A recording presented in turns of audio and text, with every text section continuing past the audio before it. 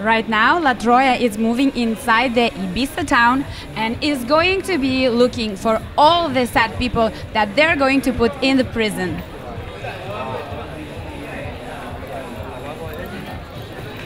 Hello, baby. Tell us who are you?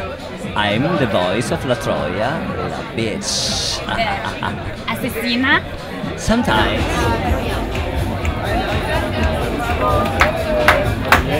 What's your name? I'm Manuel. So tonight you are a good guy. I'm really bad, believe me. in every performer create a character with the subject that we have every every every Wednesday. So now I'm a bad cop.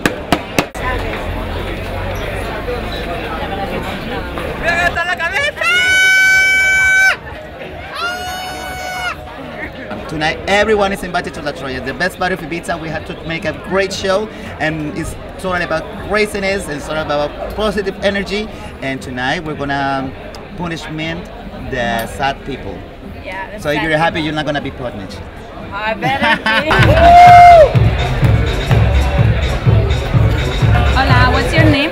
Hi, my name is Bonbon. And why did you go to prison? Um, because I am a big, big bitch.